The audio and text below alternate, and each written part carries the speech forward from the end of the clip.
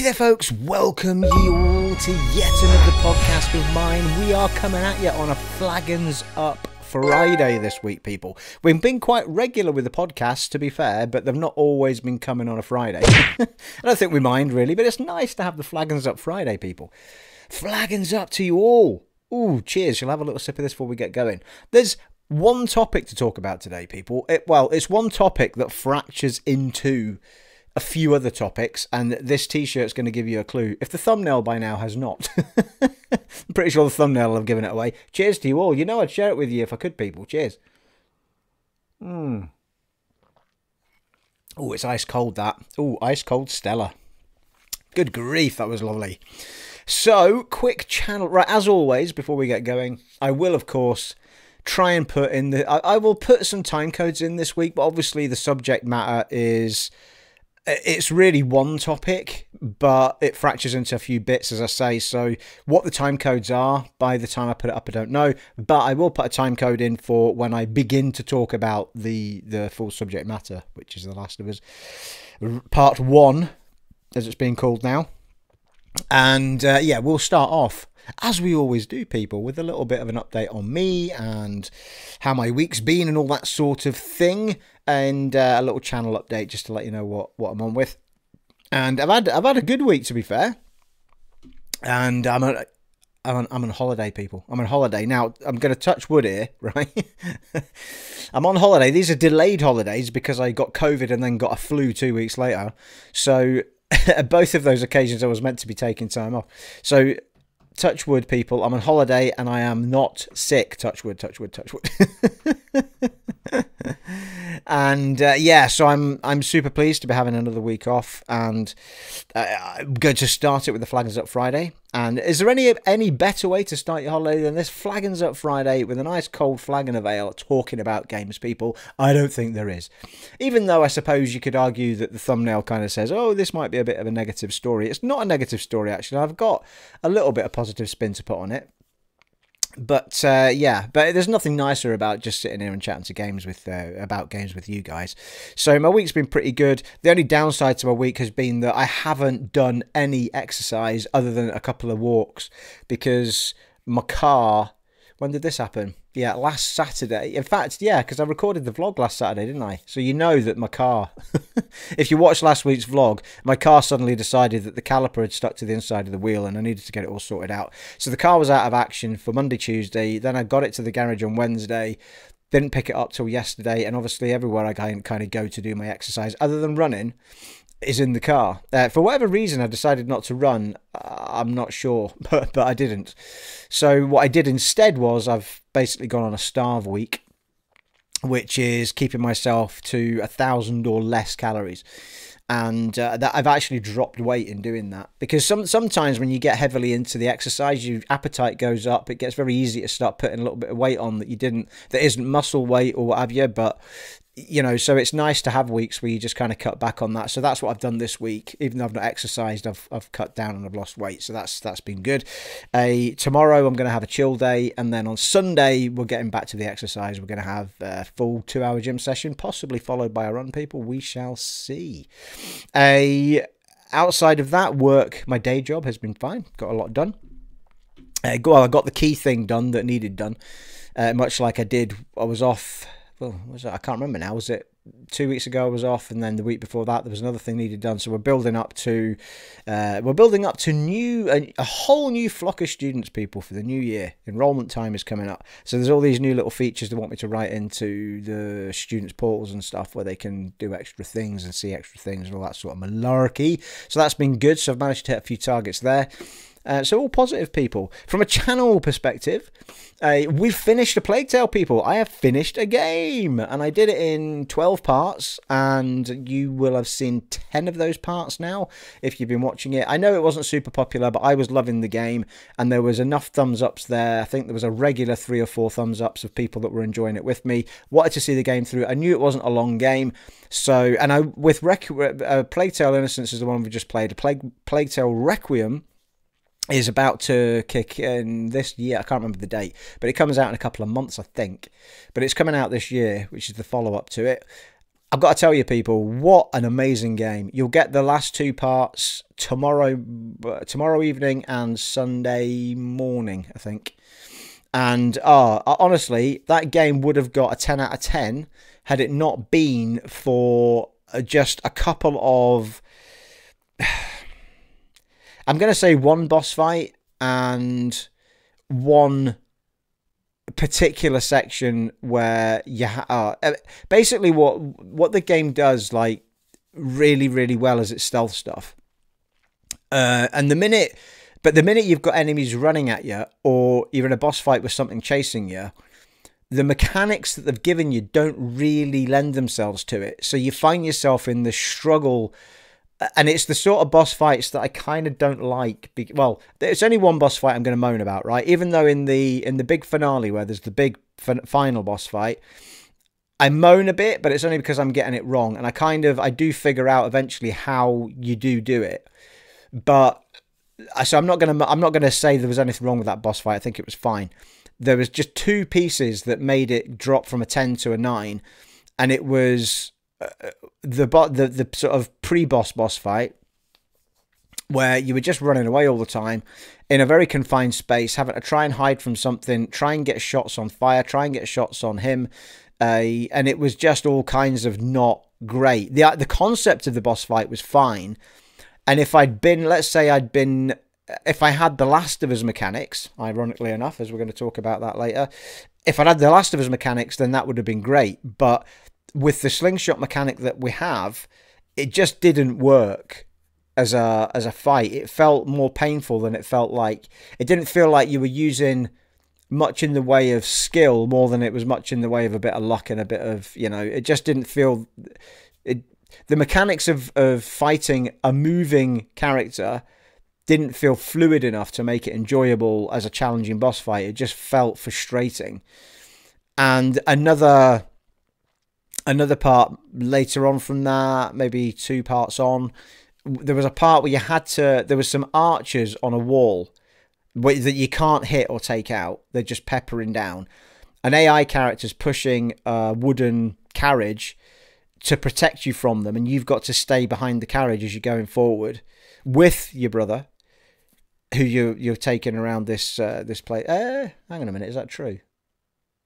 Yeah, pretty sure it's true. Oh, I can't remember now. But anyway, yeah, yeah, it is true because he keeps shouting that they're coming, they're coming.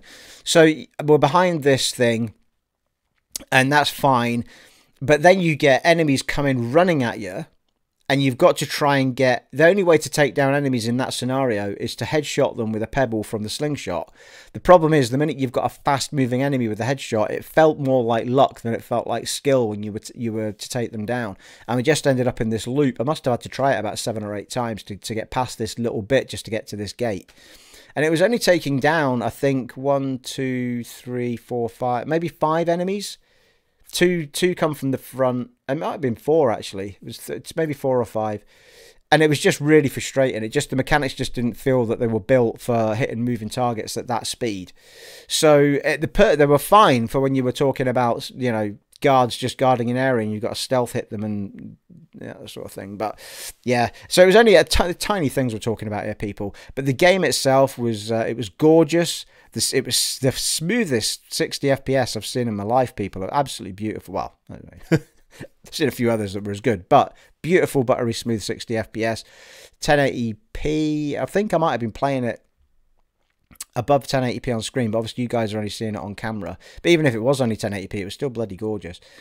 And the music was superb throughout the game. The voice acting from every character pretty much was well, in fact, every character. I'm not going to say pretty much every character was superb. Um, there was just not really anything to fault other than a couple of frustrating parts that I just didn't feel were down to me. I did I did feel like they were down to the mechanics. So I can't recommend that game enough, people. If you've not played it, then go and play it. Uh, you can finish it in 12 hours.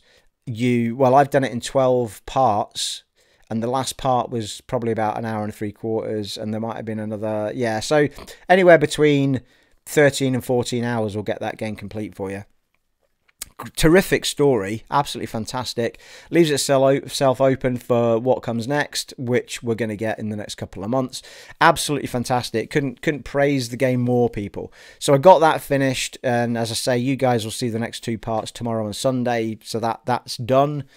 We do still. I keep saying that I will go back to Elden Ring, and I will. I nearly recorded some beginning of the week there and I put it on. I just did not have the vibe for it at all. I, I watched, I just rewatched, sort of got my mind refreshed on it, but on my last part, but I was just I wasn't into it, people. I wasn't into it, so I just uh, when I, when a Plague Tale finished, I was already thinking, what am I going to play now? Because I don't want to go straight back to Elden Ring. What am I going to do? You know, and I'd already had it in my head that I might look at some of the Let's Plays that I've been doing that I hadn't finished. We've still got Victor Vran sat there, but it's kind of tailed off in its popularity very quickly. So I'm not sure whether we delve back into that or not. Let me know in the comments below. But I can always tell from the amount of people viewing a video how popular or not popular it is certainly right now the thing with youtube is it's weird because like you go back to it in like three months time and suddenly you know 3000 people have watched the first part or something. So yeah it's a tricky one but i wanted to i just wanted something fun again because i was enjoying the thing with the plague tale was i was just enjoying it so much uh, to see through a story and i was enjoying the gameplay apart from those two little segments so yeah, I'm, and then a comment came from oh, I'm gonna uh, March Cav. I'm gonna say March Cav because I think that's what it was on the channel. I did give him a shout out on the the first one that I recorded, part nine. About he'd obviously just started. Well, he or she. I'm assuming it could be either he or she. Let me know in the comments below. but March Cav had just started watching Kingdoms of Amalur, and uh, put a message on the board saying, "Oh, I know you've started playing an Elden Ring, let's play, and you're on with that, but I don't. I, there's nothing more than I love watching a bit of Amalur, you know, while I'm working away, sort of thing." And it really, the minute I saw Kingdoms of Amalur, I was like, "That's the one I need to go back to. Uh, that's the one." I, if you remember, ages and ages ago, for anyone that follows the channel, I did. Uh, quite a long playthrough of, of that on the Xbox One X, re reckoning this is and I think we must have got somewhere between 30 and 40 parts at least. It was a really long playthrough. I'll have to go back and check. But then the Series X came along, so there was no point in continuing that playthrough. I wanted to start a fresh one. Then we started the fresh one, and I did eight parts, uh, about an hour each. And the, it was great, and it was butter. I mean, it's the 60 FPS on it is just fecking ridiculous. It is really buttery smooth, just like uh, Plague was. But I mean, the speed you're moving around in Kings of Amalur, it's it's just unbelievably smooth, and a the minute I the minute I put it, I lost my train of thought. There, people, they're, they're, they're just thinking about the buttery smooth. so we did, yeah, we did eight parts. No, that's what it was. We did eight parts, and through those eight parts, there was a bug that whenever you pushed the controller stick up and sprinted, it was fine. But the minute you moved the controller to the left or the right while you were sprinting and pushing up, the the minute you moved it to left or right, they they stopped sprinting and started running normally. And it was the most frustrating thing, especially in boss fights. Uh, well, sorry, just in fights in general. So I, could have I could have kept going with it, but I think because of the amount of I played on the Xbox One uh, playthrough combined with that frustration and combined with other things that I wanted to show off on the channel because the Series X was so fresh and shiny and new. I obviously just got sidetracked on other things and went off. But I had every intention of coming back and, you know, and there you were, people. This was the very time that I thought, you know what, fuck it, let's get back into Amalur, people, eh? Uh, just to rediscover Tawili, if nothing else. it's never going to grow old, people. A place called Tawili.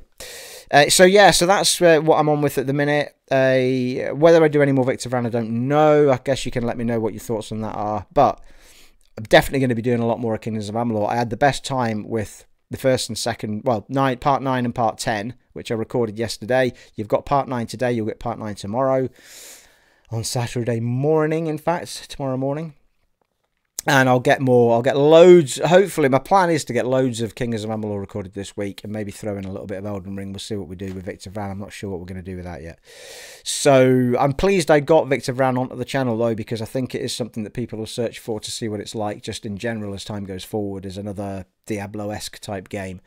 So super happy with that. There's something funky going on with this camcorder. It's probably some button I've pressed last week.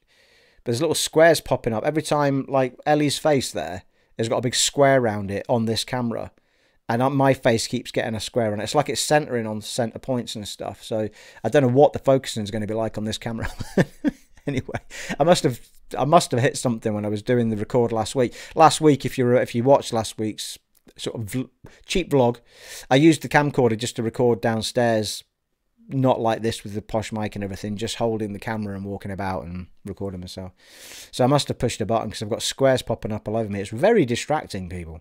So there you are. So I'm looking forward to doing a lot of recording this week and hopefully there'll be plenty of let's play up on the channel for you guys to enjoy i hope i hope amalur's gonna i mean already there was like 23 24 views on it and i only put it up earlier and for my little channel that's quite quick to get that many views on it so i think i think it's certainly something people still want to watch as a let's play Hmm. Right, shall we, people? Shall we get into the topic of the day? I'll need my glasses for some of this because we're going to read a couple of articles out. So here's the gist of it, right? Here's the gist of this video. So they decided to remake the Ra- the Last of Us part, the Last of Us, the Raster. The, we start again. They started. They decided to remake the Last of Us, and they wanted to remake it in the engine of the Last of Us Part Two right? So they announced this quite a while ago, and they said The Last of Us, which they're now calling The Last of Us Part One, which is the remake, is is built from the ground up in the new engine that they used to make The Last of Us Part Two, right? And that was the crux of it. Everyone lost their shit. Woo, this is fantastic. Yes, the best game ever. And it's it's what I, I mean, I said for a long time it was my favourite game of all time. Probably it's still up there with Dead Space and Dead Space 2 and a number of others that uh, we'll, we can talk about at the times. But certainly in in the, uh, yeah. Anyway, we'll talk. we'll leave it at that. But massively, massively in my, I had so much love for that game that when two came around, I had my serious issues with two. I did end up completing it. I did end up enjoying it to a degree, but it's never matched the heights of the first one. And I think there were several reasons that they wanted to make remake the first one. Firstly, I think they're making a trilogy. I think we're going to get a third The Last of Us. I think they'd be crazy not to. I think it was left hanging on a edge of like we need to know what happens to Ellie after this. And I think there is still a story to be told about the fact that she's still carrying this cure around and nothing's ever happened with it. I think her purpose, even uh, now that, spoiler by the way, can I just say spoilers? If you've not played The Last of Us Part 2 and you don't want me to ruin the story for you, please don't watch this podcast from this point on because I will be referring to what happens in Part 2 quite a lot. So, major red flag, spoilers. If you've not played The Last of Us Part 2, this is your chance to turn off and walk away and I'll catch you in the the next podcast because it's very difficult to talk about a lot of this stuff without referring to part 2 and it wouldn't be great for this podcast to not talk about it. So I apologize if it if it is the case. If you're not bothered about hearing about it, chances are you've probably heard about the big spoiler in part 2 anyway. So there you are. You've had your warning. I'm now going to keep going, all right? So turn off now if you don't want any spoilers for part 2. So yeah, I mean we're kind of left with Ellie having realized that the revenge was all for now and you know, she's she's lost everything in going for revenge for what happened to Joel.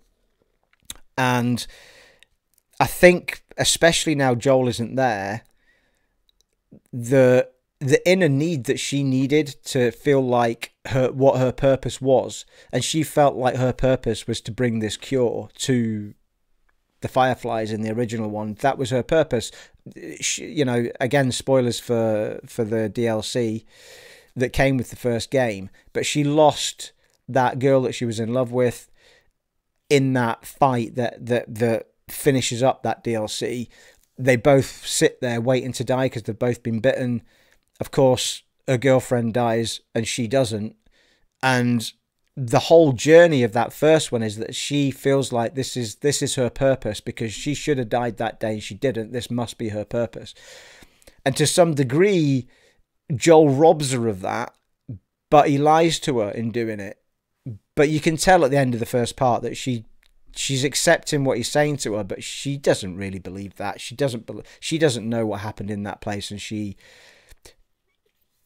I think she kind of does want to know, but doesn't want to know at the same time, and she just kind of accepts that Joel said there was there, there was no use for you. You know, there was other people that were the same, and it's all over now. So I think there is at the end of part two. There's definitely a story to be told about what Ellie does now that she's lost everything. What is her purpose? What is she going to do? What is she going to do with this gift that she's carrying around with her? And, you know, do we see a third part? I mean, if you're going to start killing people off, you might as well kill Ellie off and give the cure to mankind, I guess. But, you know, we'll see, we'll see. But I feel like they've decided they want a trilogy. And I feel like in order to make that trilogy everything that they want it to be, from a start to a finish, they want the first game without the restrictions of the PlayStation 3 and built looking like and feeling like The Last of Us Part 2. And I get that and I understand it and I think it's great. I think it's fantastic. There's no one that will love playing that game through again with all that super, super amazing visual stuff that we got in part two and playing that in part one. Because I can't actually bring myself to play part two. I, I, I said a couple of weeks ago in one of the podcasts, I played a little bit of The Last of Us Part 2 game from the beginning because I wanted to see how good it looked in 60 FPS. I hadn't played it in 60 FPS since they released the patch for it for PS5. And it was oh, it, it was beautiful and it was great to play the opener. But the more I played it, the more I thought to get to the bits that I really enjoyed, I've got to go through some serious fucking misery to get there. And there was nothing that I wanted to, I didn't want to play through the story just to play those bits that I enjoyed. However, with The Last of Us Part 1, even though it was this dark, miserable world, you were drawn to play through it because of this love between these two characters. This father daughter love that they just carry through the whole thing, that just grows through the whole thing. The weird characters that you meet on the way, the great levels you fight on the way, and it was just everything was right. The pacing was great. The story was a story you wanted to see through. And the story in the second one was a story that i still have serious doubts about where they went with it. But in the end i kind of accepted it. I get why they did it. But i think in trying to be as dark and sort of twisted is probably a long word but dark as they went and the direction they went I feel like they lost a lot of their audience because they didn't go in any kind of direction that was fun to play that game more than once. And even fun playing it once was a stretch. And not because of the gameplay, and not because of the mechanics, and not because of the visuals, not because of the music, and not because of the voice acting. All of that stuff was brilliant. The thing that let it down for me was the story. I feel like the story it, it, it destroyed the love that we have for this franchise. It just took everything away that we loved about the first one and didn't put any of it back in the th- in the second one that I could find. It was all just too miserable and too dark. And I just can't bring myself to play through it again. I think if they do play a third if they if they make a third one, I might force myself to play through it and I'll thank myself for doing it. The other thing is, I didn't want to do that whole open area again either. I know it's not that open, but I kind of at that point thought, you know what, I think I probably would have preferred it if they just left it as tight as the last one. You know, enough places to search around and what have you. I think in all, in some respect, I'd rather they didn't expand it so much as keep it as tight as the first one, linear style, where you just had these tiny little open areas in your linear path to search around. But instead of having half the doors shut, give you more places that you're able to get into in that small environment rather than open up the environment and then still give you half of it shut off by doors and stuff. So I think they could have sort of done that a little bit better. In the end, I, I kind of understand.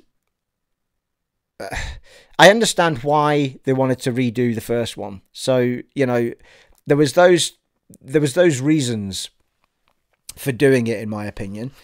Uh, I think from a designer's point of view and a person that wanted to tell that original story's point of view, it's heaven, isn't it? I mean, you go back and you can redo this game in all this glory that you didn't have, all this power, all this. You can make it look. The vision I think they had back then was greater than the the PlayStation 3. So therefore, you know, I think being the per- still having the people there that were involved with that game being able to produce that game again in the same visuals and stuff that you've got in The Last of Us Part 2, I, I, I don't think you can really argue with that. I think if you can do that as a studio and you've got the teams to do it without a, without it affecting the new stuff you're going to bring out that's not remakes and stuff, then absolutely go for it. You know, there's no reason not to do it, and I'm delighted that they're going to be doing it.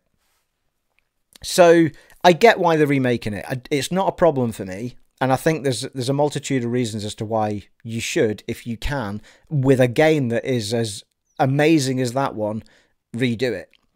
And I think it's also true that I think part of the reason that they might have decided to remake it, for me, and I might be completely wrong, and you know, I'm sure Neil Druckmann will never see my podcast anyway. I love you, Neil. But I, I don't know if there's a little splash and a hint in this remake because they feel like they upset a lot of fans with the second one, that they want to give them the first one back with all this extra beauty and all this. There is more to just the beauty of it, by the way. We'll talk a bit more about it when I read the article. But with all this extra uber, you know, beauty and everything else that comes with it, to be able to play it as gorgeously as you can play the second one, I think it's a little bit of a tip the hat to the fans and say, look, here, have the first one. and then at some point, we'll get a third one that maybe does match the first one's story and brings that want to play the thing more than once feel back. So, you know, if the first one's about love and the second one's about hate, then what's the third one about? I mean, you can you can make your own minds up about that. So I think there's every reason to remake it.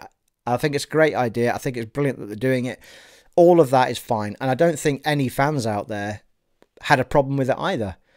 And there's one singular reason that everyone gets angry about this at all, which we'll talk about.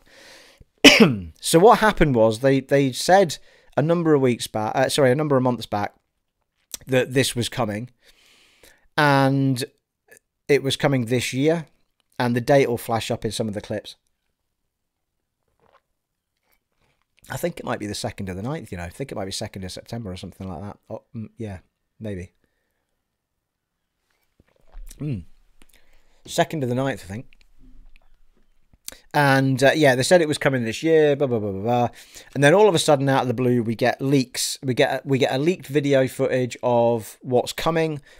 And the big thing was that people noticed that there was no change to the gameplay, the, the, the actual gameplay mechanics, i.e., there's no prone, so you can't lie on your stomach like you can in the second one.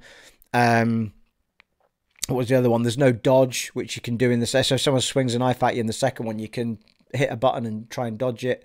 That hasn't been added, and that's the only two major ones I can think of. To be fair, the thing is, though, and before I go into talking about that, let's. Uh, I'm going to need my glasses for it. We'll read an article that kind of talks about it a bit more in depth, and then we're going to talk. Once we've talked about this sort of negativity bit, we're going to talk about what Naughty Dog came out with today, and we'll be showing the footage of, of what was going on with that. So we've got the negatives and the positives. Yeah, we've got everything on this channel, people. Eh? Everything. So, The Last of Us Part 1, no gameplay judges. Let's uh, crack that open, shall we?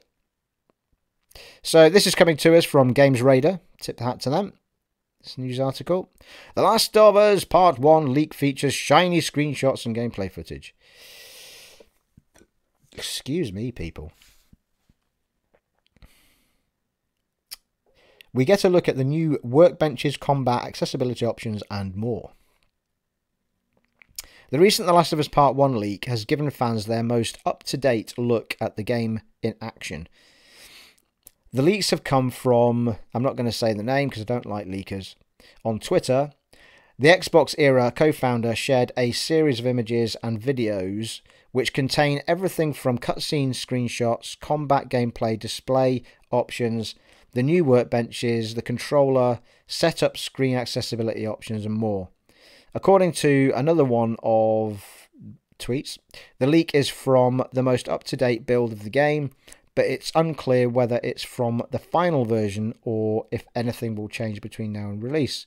Despite not being confirmed that this is the final the game's final version, fans have been quick to point out that not much has changed in the upcoming remake, despite the game receiving a complete overhaul. As pointed out in the replies to the tweets. Many fans are disappointed that the new version of The Last of Us won't have the options for players to go prone like The Last of Us 2, which I just mentioned. And here's here's the kicker, of course, the the big reason that everyone gets angry. Previously, fans have questioned whether seventy dollars or seventy pounds in this country is too much for a new version of the PS3 title, leading some fans to denounce the game and even prompt The Last of Us remake dev to deny claims that the remake is just a cash grab.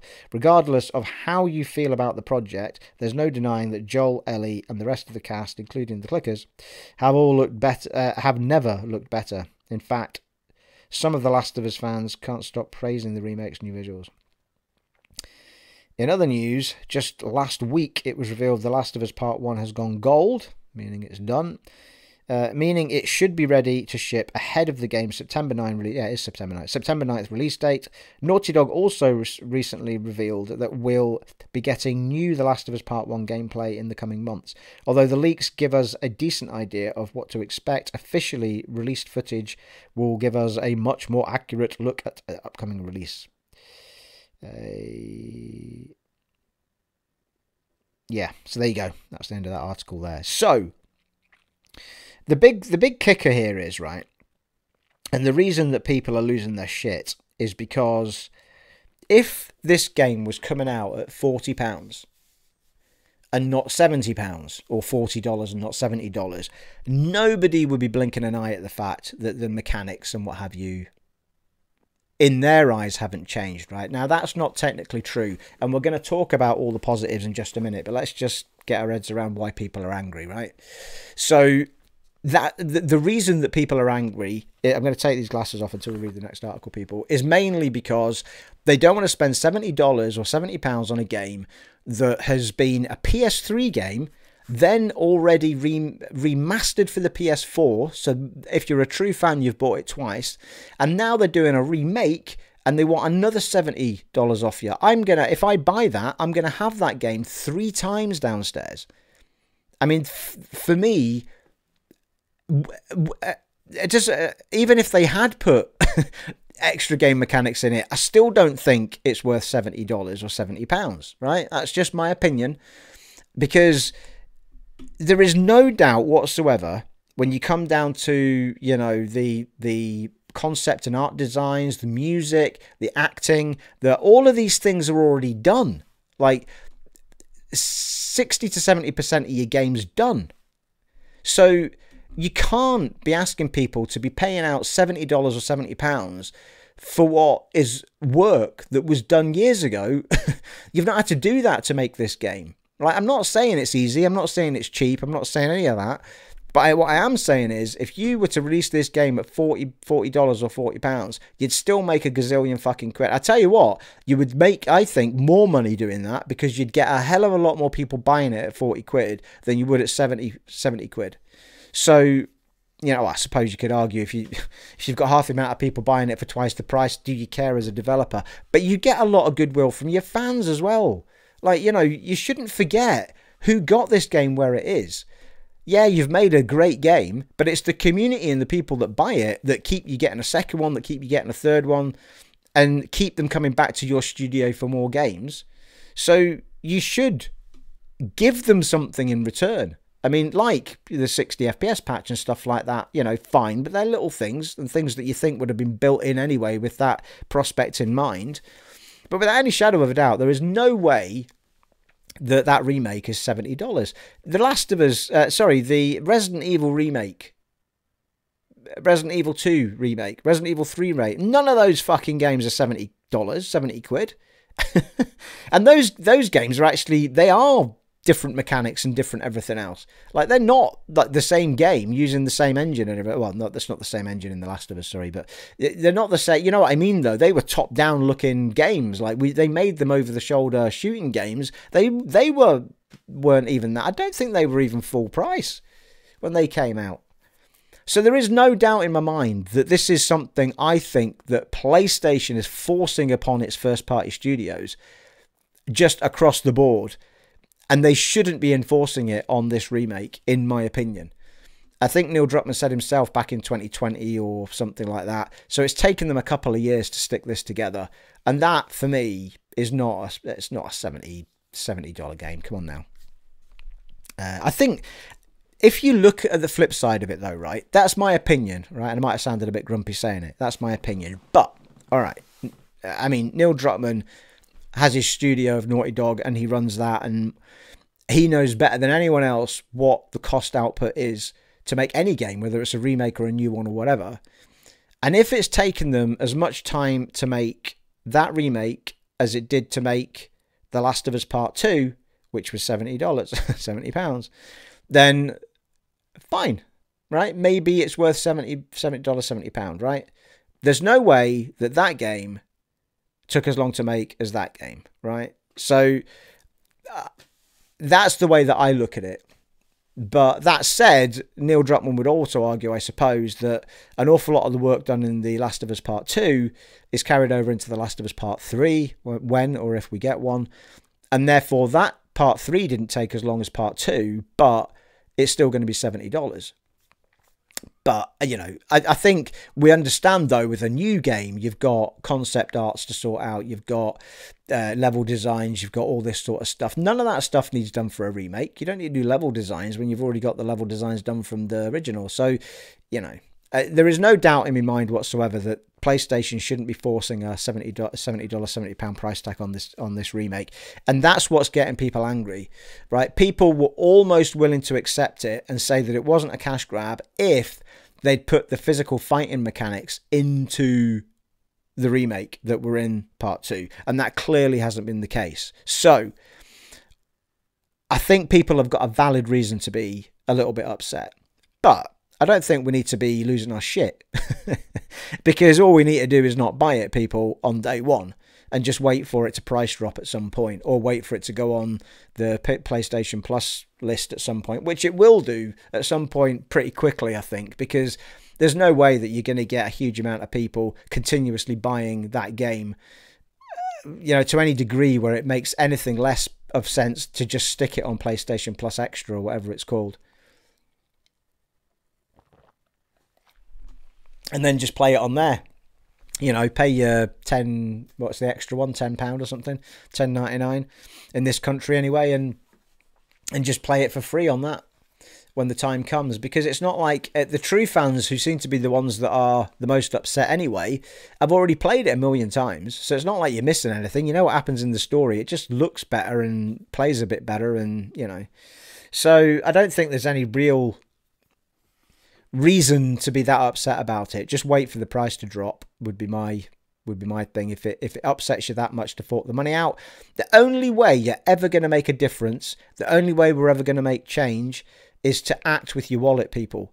Don't give them the money. if you want them to stop doing it, you've got to stop buying them.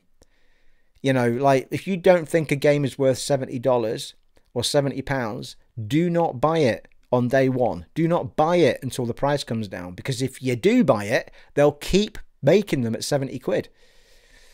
So it's the only way they're ever going to stop. And I'll tell you now, Starfield is not going to be 70 quid. It's going to be 50 quid. So all Microsoft games, they won't, they won't be 70 quid.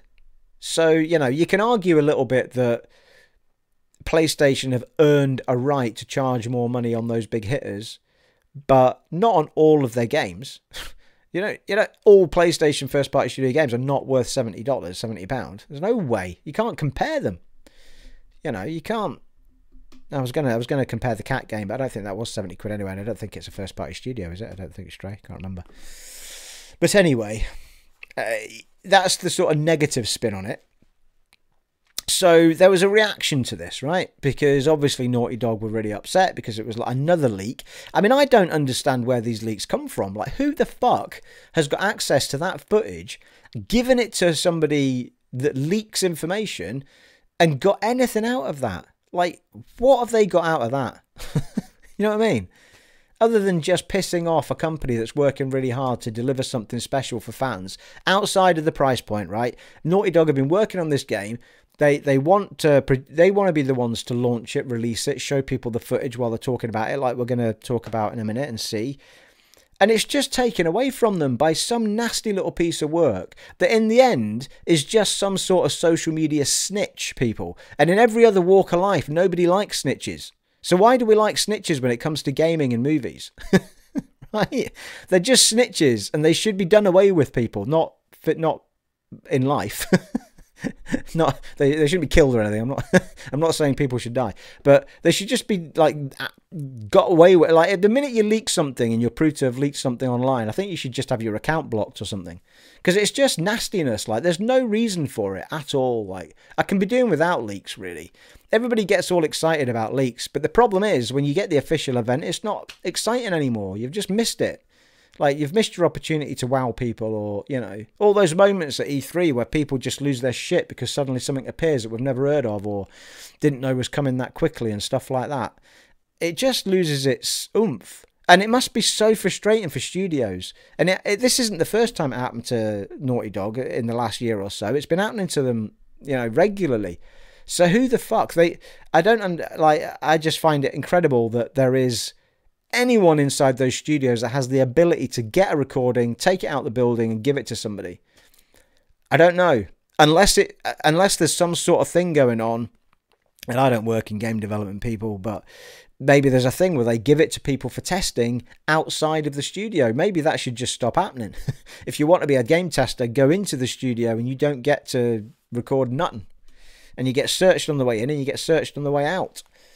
I don't know how this stuff gets out there. I really don't. I mean, I get, I suppose, you know, I'm living in old terms there. I suppose there's an awful lot of stuff on the cloud, but, you know, you don't have to have your gameplay footage on the cloud, do you? Keep it in house.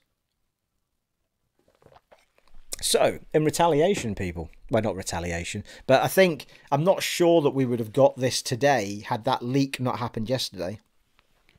So, Naughty Dog came out with their 10 minute video today talking about this is what we have done, this is what the positives are, this is what you're getting for your buck. And we'll read through the IGN article first. Tip, tip the hat to IGN for their article. The Last of Us remake, yeah, perma- permadeath mode revealed alongside a host of other improvements.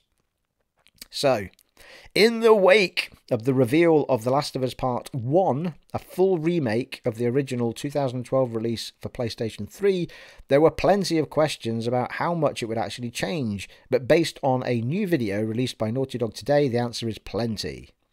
The Last of Us director Neil Druckmann was among those taking centre stage to outline some of the biggest enhancements to the beloved classic, from graphical enhancements to improvements to accessibility. The team also outlined a host of new features, which include a new permadeath mode, a speed run mode where players can time their runs, unlockable costumes for Joel and Ellie, an enhanced photo mode, a model viewer mode, that's on top of big changes to AI, graphics, and controls, which aim to enhance The Last of Us at pretty much every level. For instance, the remake will utilize the DualSense haptics to add tension as Ellie draws a bowstring, or to enhance the tactile, the tactile feel of Joel and Ellie's Joel and Ellie petting the giraffe. Naughty Dog hopes that these changes will make The Last of Us remake, as Druckmann puts it, extremely better. Is that even a real sentence? uh, that the original, uh, sorry, extremely better than the original game. The Last of Us Part One was first confirmed back in uh, back during the Summer Game Fest, after several leaks, whereupon we got to see the updated version running on a PS5. Critics have wondered whether The Last of Us needs a full remake just a decade after its original release, but Naughty Dog insists not just a cash grab. It's the definitive way to play The Last of Us, Neil Druckmann says we'll be to uh, we'll be able to see our, for ourselves just how enhanced the Last of Us remake is when it releases on the second uh, September second on PlayStation Five and oh and PC same time. Well, there you go. Right, so and I would advise anyone that's interested in this topic to go and watch the official video from today because they do talk about an awful lot of stuff that's in this game that has clearly made it a better mechanically running game. Okay, no, the actual actions you do in fighting have not changed, but everything around you has changed. They've sorted the environments out, they've sorted things out that when they go popping in front of you and things uh, getting shot at and things. The environment it feels in your face all the time, like it does in the second one. They've increased the AI ability. Well, they put the AI from two in one, so they're very very clever. The the characters that are coming at you are talking to each other, telling you where they are. Tell, if one sees you, they communicate with the others. They start flanking. They do all sorts of this sort of shit. None of that was in the first one. So they have done loads to this game. Right? I'm not saying that this justifies a $70 price tag. I'm just saying in my opinion, it definitely justifies a remake of this game along with the enhanced graphics. Because this game, if it was just a game, just any game that was kind of okay, I wouldn't be saying this.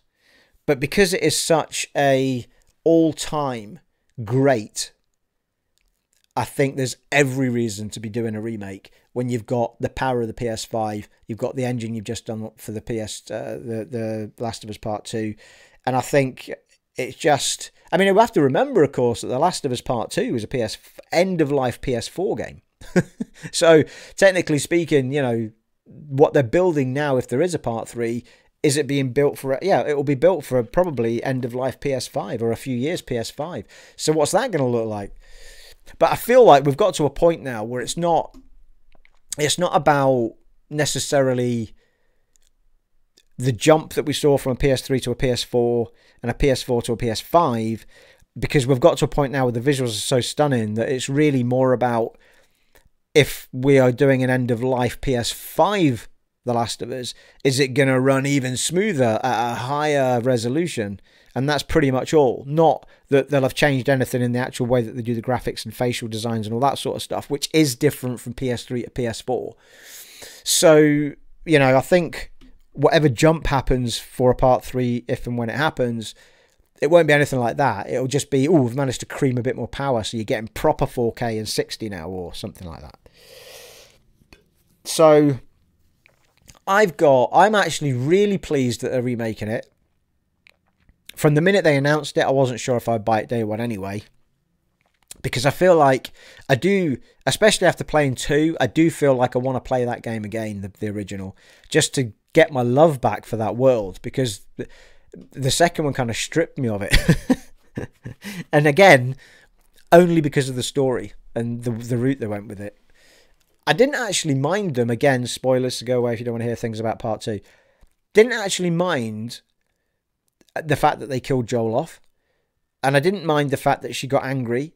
Uh, but I just the whole thing just felt too dark like, there was nothing in Ellie's remit at all that would have suggested that she would become a bloodthirsty assassin because of something bad happening in her life. Like, if you play that game, right, and look at the amount of people that Ellie slaughters in that game, and then compare it to the amount of people that Abby kills in that game, I think Abby kills like very few. It's not many people. It's a tiny amount of people.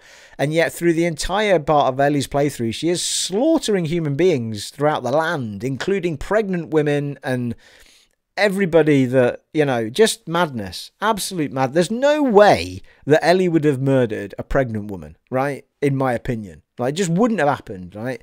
And I don't care what anybody says about what frame of mind she was in or the fact it was reaction or a gut reflex or something. She wouldn't have done it. She wouldn't have killed a pregnant woman.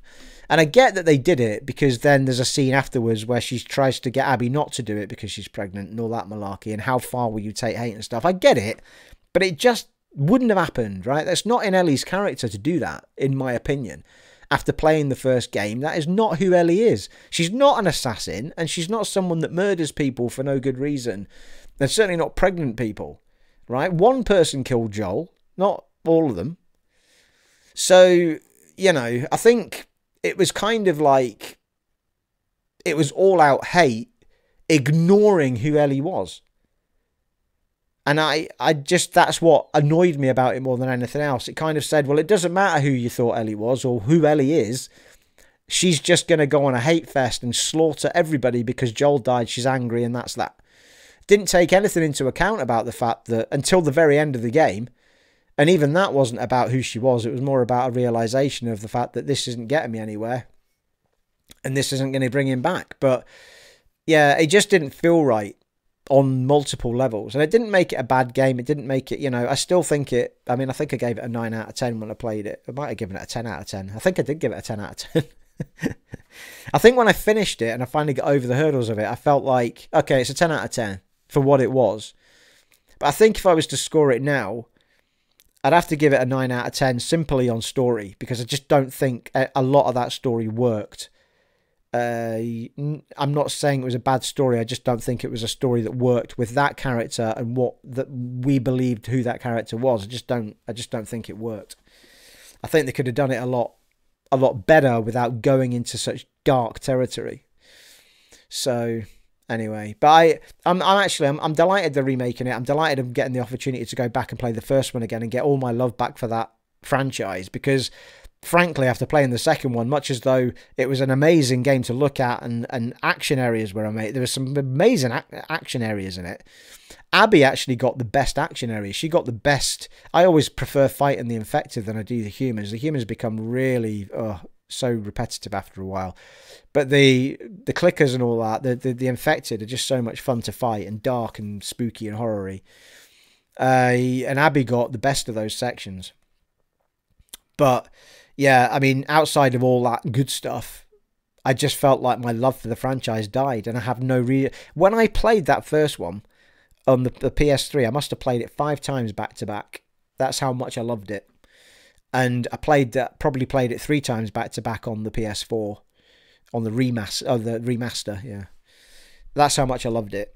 Uh, and again, I'll probably play it, you know, multiple times when we get the the remake but most likely I'll wait till the price drops because there's no real reason for me to buy it on day one. I've, I know the story, I've played the game umpteen times, I know the joy I'm going to get out of it, so I might just wait for it. I mean, it's the same with Dead Space, the Dead Space remake. I'm still not convinced that that studio is going to give me something that is something I'm going to love as much as I love the original.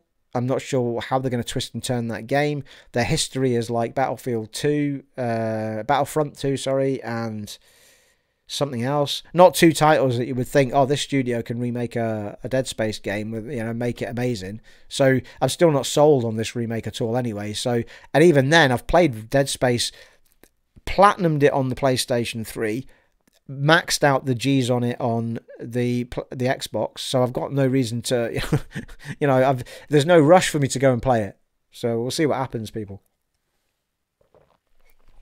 But the world and the lore and everything. The reason I fell in love with this game, the original, was just everything that was good about it was this the way it starts, you know, you, you you've got Joel losing his daughter the way he does. You've got a time frame going by that we don't see. Now there's an option. The Last of Us Part Three could be Joel's time between losing her and when he meets Ellie. I mean, that is a prequel waiting to happen. That I mean, to see what happens with Joel in that time frame, and he was a nasty bastard in that time frame. I mean, there's all sorts of things for him and Tommy going on. So there's a story to be told there. I mean, I'd prefer to know what happens with Ellie afterwards, and I'd prefer to see a trilogy done. But it would not surprise me with Neil Druckmann whatsoever if he went back and did a prequel first. Let me know what you think in the comments below about that little number. But I'd love to see that and obviously Tess would be back in it then as well uh, because she's obviously spent a fair bit of time with Joel.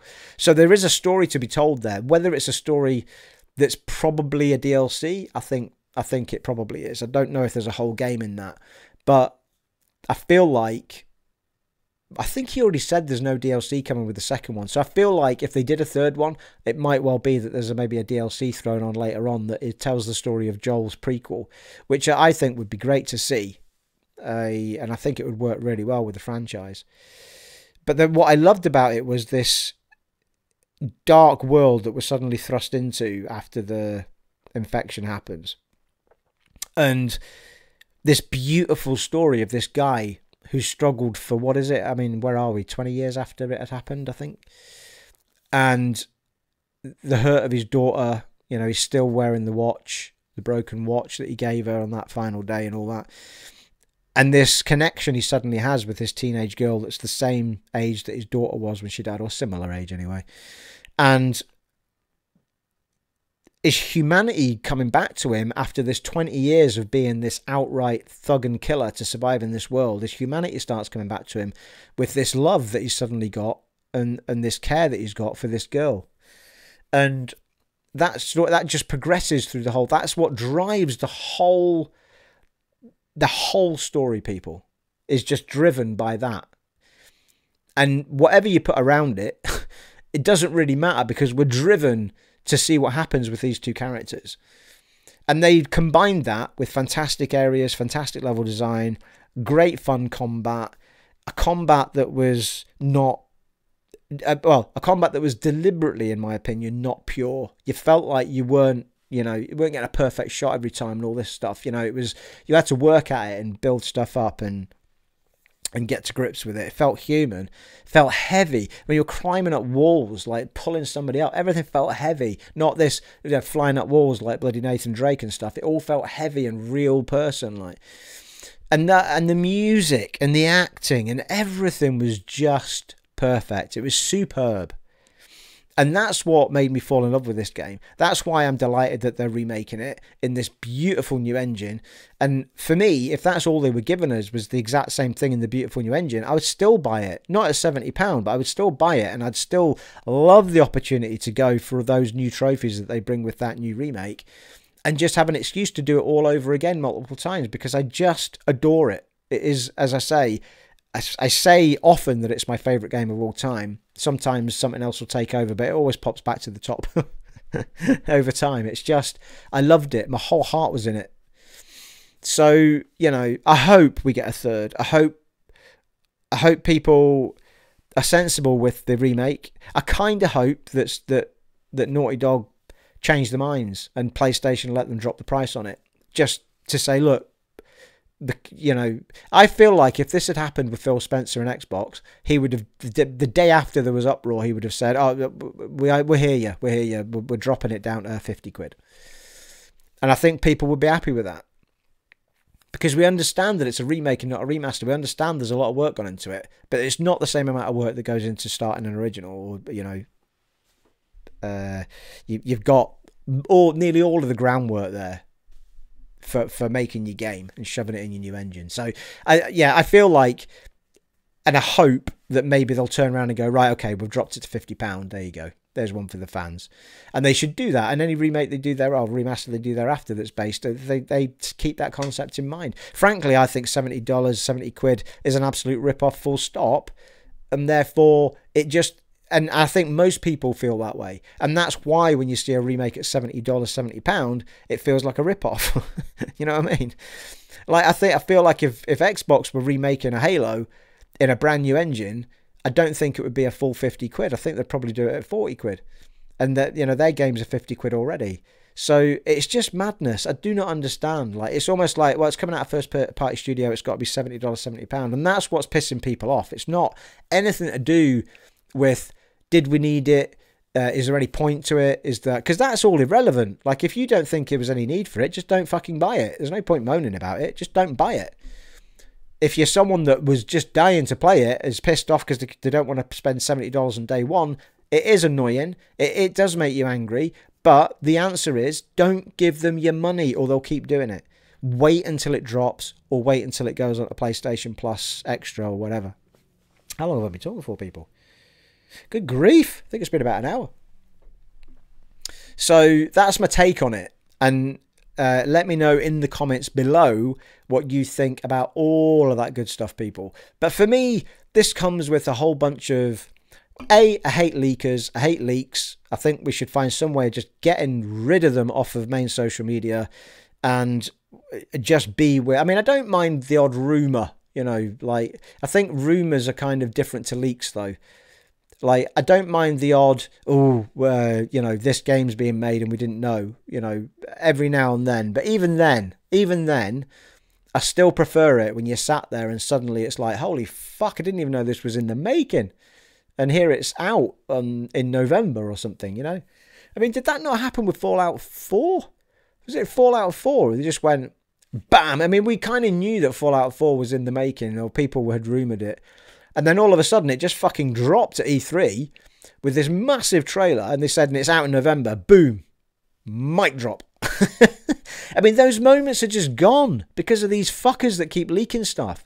Like, just stop doing it. You know what I mean? Like, the problem is these are this is how so-called gamer community people are making their name in eh, being a YouTuber or being a Twitcher or being a whatever. They're doing it. They become popular because they leak information, and we're all helping them do it because we're reading their articles, we're feeding back to them on Twitter, and they're making them. We're making them popular. So clearly, I'm in the minority. I say. I, I don't hate people. I mean that's a strong word. If I I don't know if I used the word hate there, but I don't I don't hate people. I, uh, hate's a very strong word. I don't like throwing it around. I dislike it when people do it, and I think that there's no it doesn't make you big. It doesn't make you any better than anybody else that somebody somewhere has been nasty enough to sneak information out of a company and give it to you and then leak it online. I don't see why it's clever, smart, or respected in any way whatsoever. And that's my take on it. I'd rather have the reveals the way they're meant to be, um, outside of maybe getting the odd whisper here and there that, ooh, that might be in the making but I don't like seeing things, especially things like here's footage, here's screenshots, here's artwork, here's things that have been smuggled out of companies. It's fucking shocking. Like it shouldn't be happening at all. it's terrible. I really feel for companies when it happens. I know what it's like to to be spending a lot of time designing something as a, as a web developer and a programmer. I design stuff and make stuff all the time, and not that I make stuff that people are you know going to be like, oh, well, I suppose they are to some degree. It's like, holy shit, that's helpful. Holy shit, that's brilliant. I didn't have that before. But, you know, but I know what it's like to put that sort of care and effort into something that you make and create. And to have somebody else just nick it and throw it online, it's fucking shocking. Like, it shouldn't be happening. Um, and I just, it, it really winds me up. No end, people no end. Not to mention, it just makes all the summer fests and all the E3s completely pointless because there's no surprises anymore. And you can see how upset the, the, the devs are when they come on stage and they talk about it. You can see they're so upset about it and annoyed. And we're only seeing the Neil Druckmanns and you know the actors and the the directors. Uh, but yeah, I, I I just I'd love to see it just done away with, and I'd love to see any account that is an account that drops an original leak of provided information, uh, be it screenshots or videos, just done away with. Like block the, you know, have their accounts taken away from them and just don't allow it. But I realise we live in a world that is just, you know, it's not like that, unfortunately. Uh, sad, but never mind. Never ye mind. You know, I mean, I think we could live with the fact that somebody's got a a leak of this game's being made. We could live with that, right? So it's been leaked that this game's in the making, and the studio just keeps quiet, says nothing, and it's out there. We think it's in the making, right? But the minute you've put in something up that's got a screen grab on it, that's got, uh, you know, video footage on it, I think people that are proven to be doing that should have their should have their accounts taken away. You know, I'm not sure how far you take it, but you know, I'm talking about Twitter and Facebook and stuff like that, even even YouTube, but I don't know. I mean, there's an argument that says that I'm kind of leaking it because I'm talking about it from two days ago, but I'm talking about it now that Naughty Dog have have actually done something today. But that said, I have reported on people leaking stuff on my channel. And you can also argue that I'm maybe getting some viewers out of this because my thumbnail is about the leaks and about what have you. But you can't not talk about it when it happens because that's the gaming news of the week. You can't ignore it as a channel or as anything else. You've got to discuss it or talk about it. But what you'll notice on this channel is, well, I'm not now. Uh, I'm not going to say I've never done it in the past, but I'm not showing.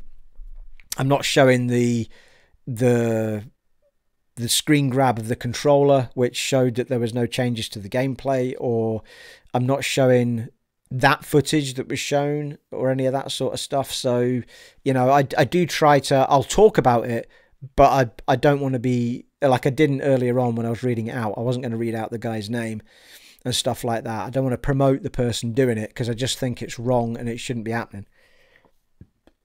Stand united, people. Anyway, love to everyone. All right. In the end, I'm not throwing any hate out there, and I'm not. I just. I have my opinion on what should and shouldn't be happening. It's just my opinion. I love and respect everyone that's uh, that's nice out there. and I'm sure the people that are leaking the information feel like they're not doing anything wrong, you know, and they're just going for their little bit of glory in that moment. And that's okay, you know, but in my opinion, it just shouldn't be allowed. And it should be a thing where you're told if you do that and provide screenshots and videos, you will have your account blocked or whatever. I think that should just be a thing, right? So I'm not saying it should be a surprise thing where that person that did it the other day should just be blocked, like because there is no rules for it at the moment. I think they do try and take screen grabs and screenshots and stuff down uh, that are on the internets. So I think they contact whoever is in charge of Google Images or I don't know wherever the images come from. I think they can track them down to whatever site they're on and get them removed. So uh, yeah, that sort of stuff can happen, but yeah. Well, there you are. Uh, in the end, though, uh, can we finish on a positive? Right. I'm super delighted this game's being made or remade. I'm super, super excited to be playing it again. I'm so excited to be falling back in love with this franchise by playing the first one again.